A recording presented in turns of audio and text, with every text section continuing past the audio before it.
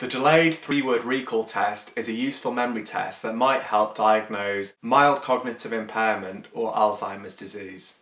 You should give the patient three words. You should get the patient to recall the words to you immediately to make sure that they've heard the words and then wait for three to five minutes before getting them to recall the words.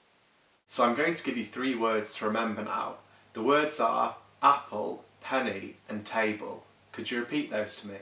Apple, penny, table. That's great. If you just remember those, I'll ask you them again in a few minutes. Okay. So a few minutes ago, I gave you three words to remember. Do you remember those words? Yes. Could you let me know what they are?